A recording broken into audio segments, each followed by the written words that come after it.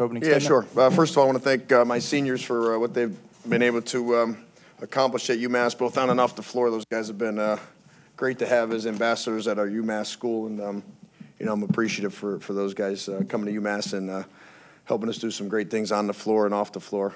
Um, Getting to the basketball game, I thought VCU uh, played a great game today. They, they obviously won the game on the backboards, um, you know, with um, however 20 offensive rebounds that turned into uh, many points. Uh, I thought that was the difference in the game. I thought our guys competed, fought, um, battled. We just didn't do a good enough job of keeping them off the glass, which uh, was something obviously we spoke about, didn't really work on, but we spoke about it, tried to uh, simulate some things that they might try to do, and um, they were they were the better team today. All right, we're going to open up for questions for the student athletes. Please hold all questions for Coach Kellogg until we dismiss student athletes back to the locker room. Trey, did it feel a little in, in the first half like like with with what they were doing defensively? You guys were, you guys were try, hanging on with defense, just trying to hoping that the offense would, would eventually kind of kind of get going. Um, no, not. I think some of the plays early in the beginning, um, like on to the space. I, I think those we, we had to put those those balls in early. We got off to a slow start, and uh, I think that that carried over um, the next the next uh, minutes, and uh, they got a little cushion on their league, and um, we weren't able to get over that hump. Did, did their did their steals and block shots disrupt you guys a little bit or, or early on? Did, did- how much how much did that affect you guys? Uh, yeah, because they they didn't convert into points, and they ended up converting into points for them. So um, our points turned into their points. So uh, that kind of slowed us down.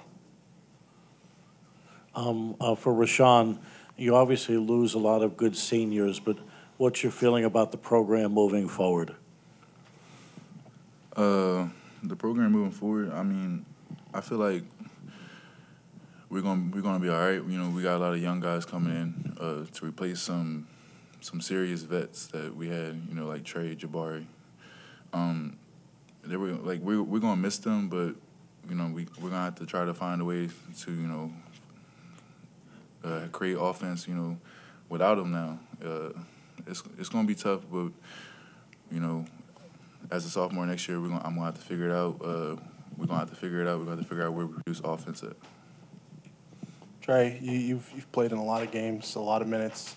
Was there, was there any anxiousness in that second half when they went on their run to, to know that you guys were gonna, you're gonna have to really press to kind of, kind of pick things up if you wanted to extend that one more game?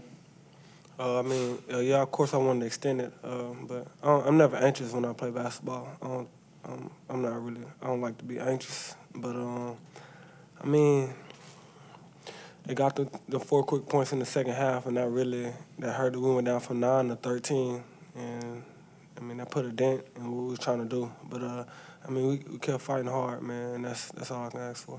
You, you guys went through a tough stretch and you played better at the end of the season. Will, that be something that you take with you knowing that you, you guys came in here, you won a game and you, and you played better, a little bit better down the stretch?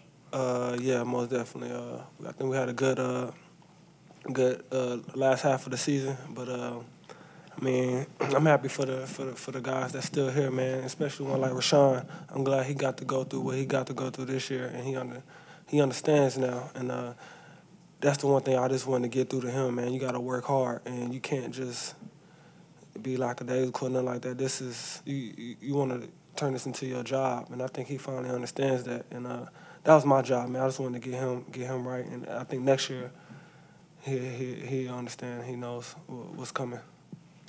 Rashaan, what made it so difficult keeping them uh, off the offensive glass? Obviously, 20 offensive rebounds. What, what made it so difficult? Um, it's just you know uh, they all rebound. You know, there's multiple rebounds. You know, they have a they have a, like a they had an advantage on it because a lot of their players they focus on rebounding. Some of they have players that they have players that just you know just all they want to do is rebound and. You know, we had we obviously had trouble with keeping them off the glass today. Um, you know, it just it was just tough for us today. Tough office rebounding, tough trying to rebound today. Rashaan, how does the last couple of weeks motivate you for the off season and, and, and how you want to spend and, and get better? Um, it just it just makes me uh, it just is a push until next year. You know, off season, I'm just going to work on my body, work on my skills. You know, try to get in the best shape as I can for next year, and hopefully, you know, we will be back here. We probably uh, advance farther. We, you know, we're going we want to do our what we got to do. It's just it all starts with how I how I get my body together and and how good of a shape I can get myself into. Did, did this next give you a taste of, of what you can be? Uh, it did. You know, I realized with the trust of my teammates that they gave me and what they were teaching me, like what Trey was teaching me, you know, I just can't be lackadaisical. It's not just gonna get, not gonna just come to me. I mean, it taught me to work hard. You know, you know, just you know, be patient. My time will come, and just do what I got to do just to win games. And the last couple weeks is what my mindset I had was just to be dominant when I'm in the game. It's just simple as that. I just got to be dominant and be, and be a low post presence. Um, uh, Trey, how would you describe this season for, for you and for the seniors? I mean, was it bittersweet, or what would you say about it? Man, I love this group of guys, man. Through the ups and downs, uh, I love them. Um, I, don't know, man. It just you, you have to be on the team to understand what I'm saying. And even though the season over, I'm love love these guys to death, and I'm always be there for them. And uh, it don't stop here. It's more than basketball. Um, these are my brothers for life. So they're gonna be hearing from me. I know I'm gonna be hearing from them, and uh, we're gonna be good. All right, thank you, gentlemen. We're now going to turn it over to uh, Coach Kellogg for questions.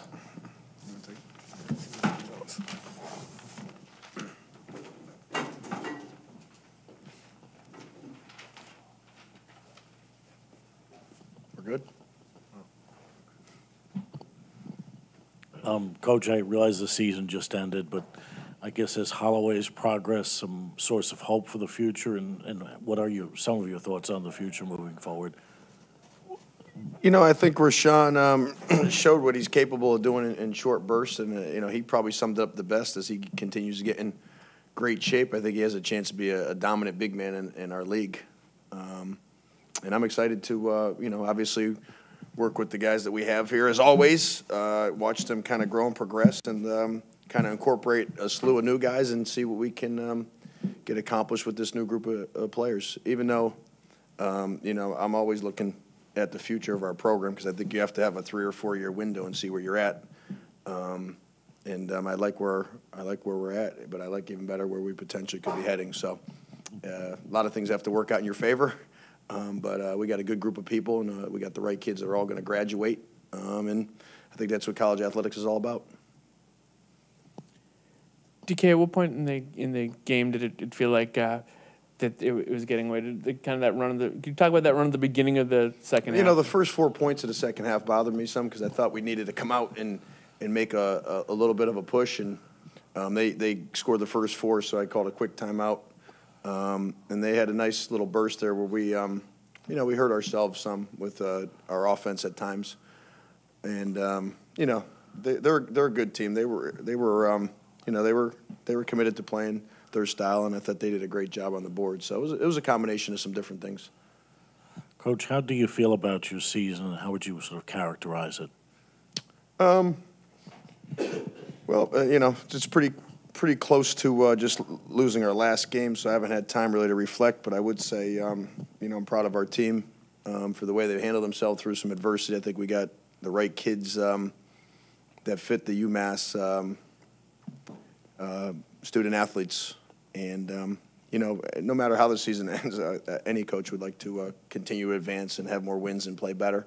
Um, so that's always the goal for the future. But these guys uh, set some good groundwork for uh, the younger guys, and um, we're going to continue to push forward and get ready.